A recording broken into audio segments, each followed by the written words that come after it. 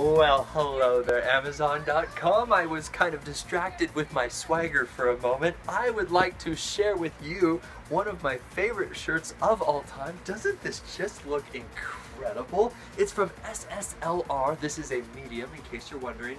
I'm sort of a skinny fellow, uh, 6'1", 165 pounds. So, uh, but a medium fits perfectly, very, very nice. Uh, it's not really enough to tuck in, but that's okay. I like the, the nice comfortable style fit like this. There are still some creases from the package, but once I sort of put it in the dryer, those should come right on out.